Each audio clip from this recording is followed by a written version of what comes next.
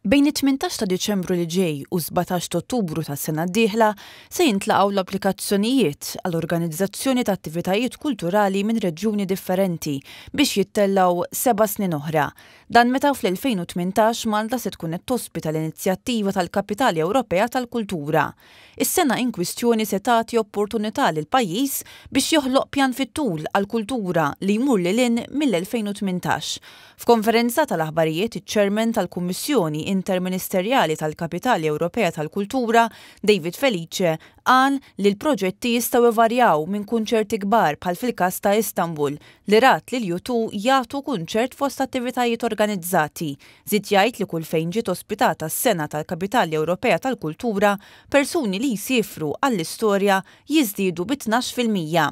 Min-naħa tiegħu s-Segretarju Parlamentari għat-Turiżmu Mario de Marco qal li l-Gvern qed jinkoraġixxi lill-Kunsilli Lokali jingħaqdu biex jibagħtu sottomissjonijiet għall-attivitajiet kulturali bħala reġjuni.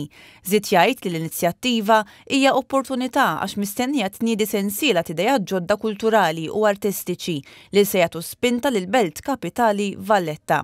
Spjega kif Malta tefgħet il-kandidatura sena qabel sabiex l-awtoritajiet ikollhom żmien biżżejjed biex iħejju sew għall-okkażjoni u jipprovdu l-infrastruttura meħtieġa għall-attivitajiet kulturali li se jittellgħu fl-2018.